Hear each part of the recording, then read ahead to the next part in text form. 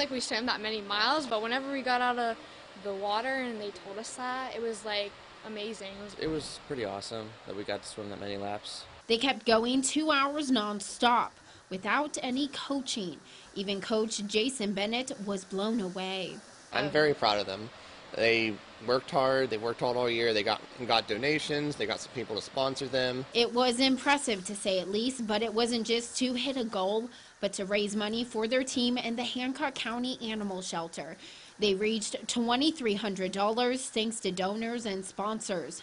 The team split it two ways between the swim team and the animal shelter. I thought it was great that they thought of us, that they were thinking of the animals. And when asked whose idea it was to help out the animal shelter, Coach Bennett gives the credit to all the kids.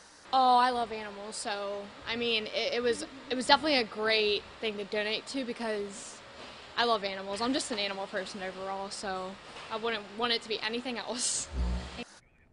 Now, it's unclear exactly what the animal shelter will use the funds for, but they say they want the swim team to decide.